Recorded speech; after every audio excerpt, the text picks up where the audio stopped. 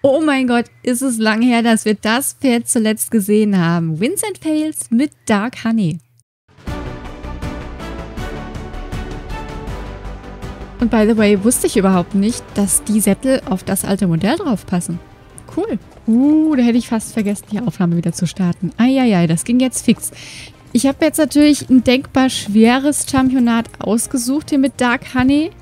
Ähm, mit sehr engen Bereichen und dann mit so einem relativ massigen Pferd. Ich weiß nicht, warum hier immer noch Wettbewerbsgruppe wird erstellt steht. Das, äh, I don't know.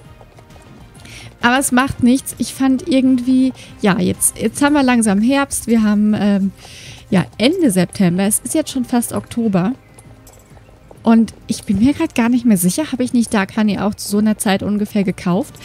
Ich weiß gar nicht mehr, wann sie rausgekommen ist. Sie ist auf jeden Fall nicht mit dem ersten Schwung Shire Horses gekommen, ähm, sondern mit weiteren Farben, mit weiteren Farbvariationen für unterschiedliche Rassen, wie wir auch morgen welche im Update bekommen.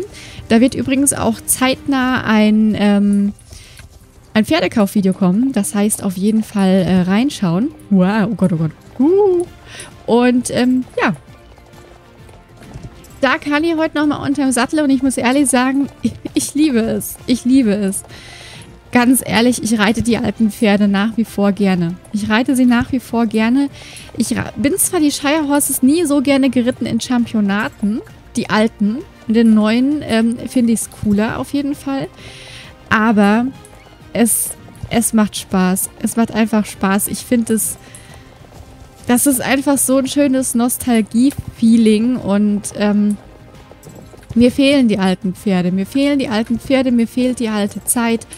Ähm, was man da noch alles in Star Stable erlebt hat. Ich weiß nicht, das war ein anderes Feeling, auch als da noch neue Quests reingekommen sind. Es hat sich anders angefühlt als, ähm, ja, als die Zeit jetzt, wenn neue Quests reinkommen. Ich kann gar nicht genau sagen, wieso, weshalb, warum. Ähm, warum das so ist keine Ahnung. Ich, ich weiß es nicht. Ich weiß es nicht. Es ist einfach nicht mehr das gleiche Gefühl, wie es damals gewesen ist. Und das ist, es ist irgendwie traurig. Das ist so ein bisschen, Star Stable macht für mich gerade so ein bisschen die gleiche Entwicklung durch die World of Warcraft damals für mich durchgemacht hat, dass es einfach irgendwann nicht mehr das gleiche Feeling gewesen ist. So, Platz 6 ist es geworden beim Goldblatt-Championat.